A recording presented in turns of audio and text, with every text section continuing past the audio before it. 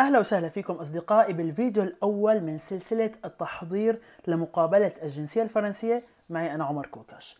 إذا بتتابعوا هالسلسلة كاملة وبتنتبهوا للملاحظات اللي بحكيها بضمن لكم أنه تروحوا على المقابلة جاهزين 100% رح نشرح كل شيء بالعربي كرمال ما تستصعبوا شيء ومشان الكل يفهم الفكرة بشكل عام. وبس تحفظوا وتركزوا على الشغلات اللي بقلكم عليها. وكل شيء لازم تعرفوه بالفرنسي رح تشوفوه على الشاشة. وبنفس الوقت حخبركم على الكلمات الهامة والشغلات يلي لازم تحفظوها. وإذا جاهزين رح نبلش مباشرة بكتاب الجنسية كتيب المواطن le livret du citoyen. هالكتاب كتير مهم إنك تفهمه كلمة كلمة. أما بالنسبة للحفظ فرح خبركم على الشغلات اللي لازم تحفظوها بشكل خاص وأنتم بدكم تحطوا قدامكم مثلا ورقة وقلم وتكتبوها. بنبلش بأول صفحة. ممكن البعض ما يشوفها مهمة لكن مثل ما قلت لكم إذا بدكم تروحوا مرتاحين على المقابلة روحوا فهمانين كل شيء. هون عم يقولوا لك باختصار إنك أخذت آه، أو قدمت أنت ملف الجنسية ما يعني بدك تنضم للمجتمع الفرنسي. تشارك بإثرائه وتحترم قيمه.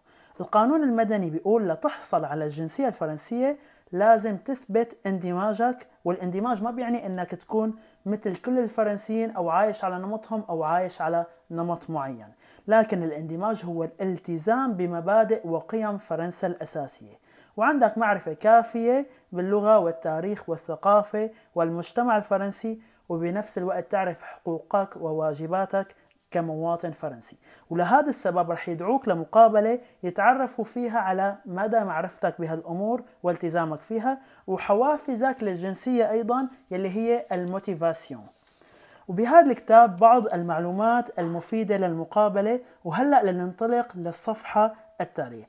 أول شيء بيقولوا أنه فرنسا دولة ديمقراطية ويتم انتخاب قادة الدولة باقتراع عام suffrage universel هدول الكلمتين احفظوهم واعرفوا معناهم لأنه رح نحكي عنهم بشكل مفصل بعد كم صفحة.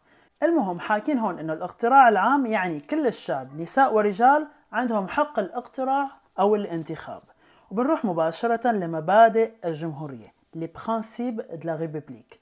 بيقولوا لك الجمهورية هي نظام سياسي بيحكموا القادة المنتخبين فيه باسم الشعب. Gouverner au nom du peuple يعني الحكم باسم الشعب الجمهورية تقوم على عدة قوانين ويجب على كل شخص أن يطيعها وبنروح مباشرة لهالتاريخ هذا اكتبوه على الورقة لأنه كتير مهم هو le 14 juillet 1789 شو صار بهاليوم؟ بهاليوم سيطر الشعب على سجن الباستيل Le peuple de Paris s'empare de la prison royale de la Bastille.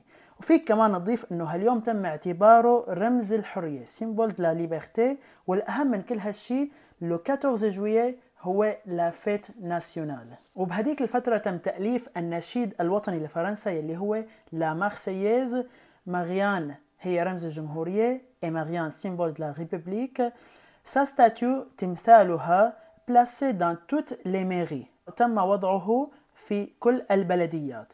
Elle rappelle la Révolution française. يذكرنا أو يرمز للثورة الفرنسية. وهلا عنا العلم الفرنسي le drapeau tricolore يعني العلم ثلاثي اللون إذا بدنا نترجمها حرفيا.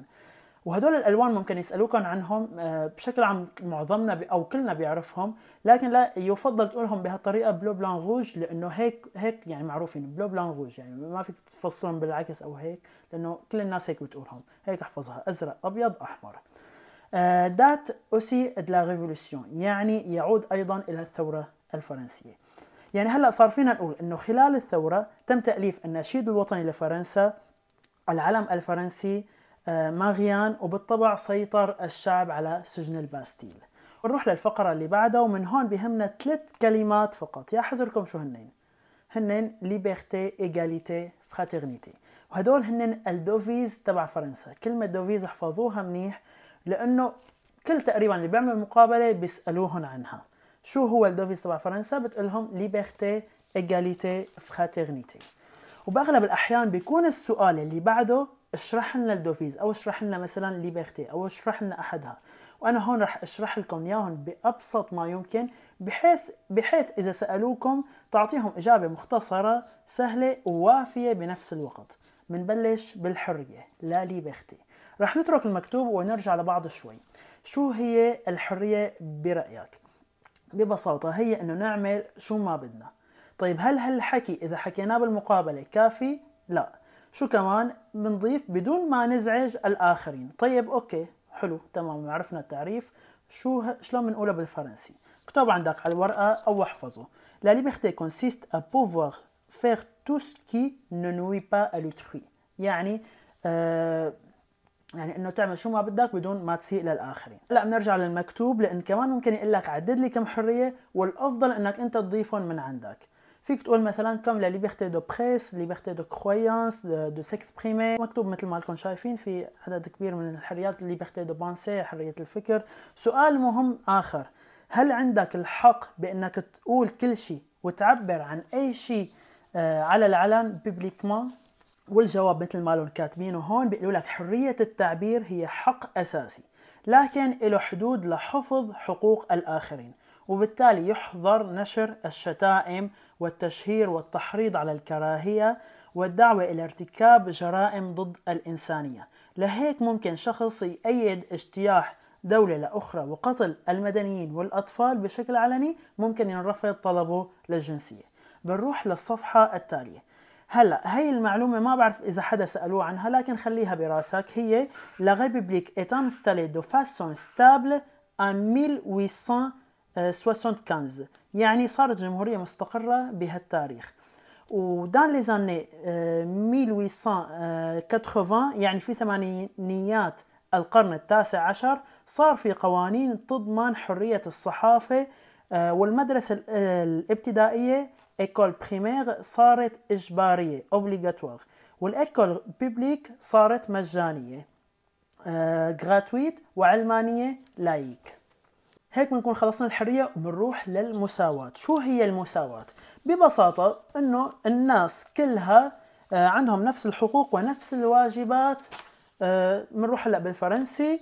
Tous les citoyens ont les mêmes droits et les mêmes devoirs quel que soit leur sexe. شو ما كان جنسهم leur origine شو ما كانت أصولهم leur religion شو ما كان دينهم leur, leurs opinions شو ما كانت آرائهم و leur orientation sexuelle أو ميولهم الجنسية. شو ما كانت هدول كل الناس عندها نفس الحقوق.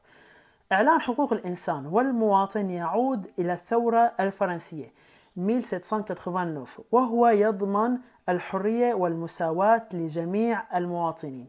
وأهم شغلة القانون بيعطي نفس الحقوق للمرأة ونفسها للرجل. لك هون هل من الممكن رفض الجنسية لشخص ما بيحترم المساواة بين الرجل والمرأة. الجواب نعم حتى ولو كان متزوج من فرنسي أو من فرنسية وبنكمل المساواة بين الرجل والمرأة هي أحد قيم الجمهورية الأساسية ويتم اختبار الانتماء لهذه القيم خلال المقابلة. الأخوة la fraternité كثير ناس بتقلي الحرية فهمناها والمساواة بنعرفها بس شو بيقصدوا بالأخوة la fraternité رح نقرأ سوا. بيقولوا لك أنه فرنسا تأسست على إرادة المواطنين الفرنسيين أن يعيشوا معا وهالإرادة بتتجسد من خلال التضامن بين المواطنين solidarité entre les citoyens. وبعدين بيكملوا نظام الضمان الاجتماعي مطبق بفرنسا منذ 1945 وتموله الشركات وكل من يعمل في فرنسا. وهلا بنكمل. تدين فرنسا التمييز أي جميع الممارسات التي تقلل من شأن شخص معين أو مجموعة مقارنة بالآخرين. والعنصرية تعتبر جريمة. هلا بنرجع للفراترنيتي كيف فينا نشرحها؟ هلا كل واحد حر شو بيستنتج من الحكي. لكن برأيي إذا بدك شيء مختصر وواضح فيك تقول مثلا la est la volonté de vivre ensemble euh, la solidarité et la participation à financer la sécurité sociale pour euh, le bien-être de tous يعني الأخوة هي الرغبة بالعيش سويا التضامن والمساهمة بتمويل الضمان الاجتماعي ليعيش الجميع بحال جيد وهلا هون عم يقولوا لك لا يمكن لصاحب العمل رفض موظف بسبب أصله، عرقه، دينه أو جنسه. يجب أن يستند أي قرار توظيف أو ترقية أو إلى آخره من قبل صاحب العمل إلى أسباب مهنية وليست شخصية. معاملة شخص ما آه، بشكل أقل تفضيلا بسبب خلفيته أو دينه أو جنسه هو تمييز. وبالنهاية عنا la laïcité العلمانية. انتبهوا ال laïcité ما لها من ال devise. يعني لما بيقولوا لكم عددوا لنا ال devise ما بتقولوا ال laïcité. لكن ببعض الأحيان بيسألوك لو بدك تضيف كلمة رابعة لل devise. مثلا شو بتختار؟ آه أنت هون بالطبع حر بخيارك. يعني فيك تختار اللي بدك إياه. لكن أغلب الناس بتنصح إنك تقول العلمانية.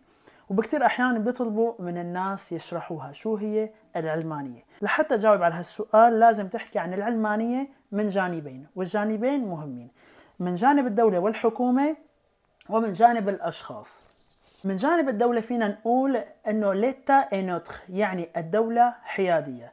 Il n'aide pas les religions ما بتساعد الأديان. من جانب الأشخاص بنرجع للحرية chacun est libre de croire ou de ne pas croire.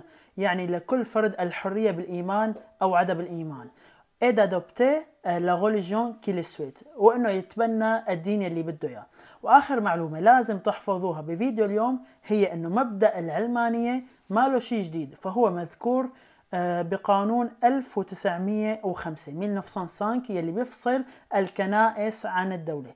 يلي لازم تحفظوه هون هو التاريخ وإنه la laïcité a séparé les Églises de العلمانية فصلت الكنائس عن الدولة بهذاك التاريخ.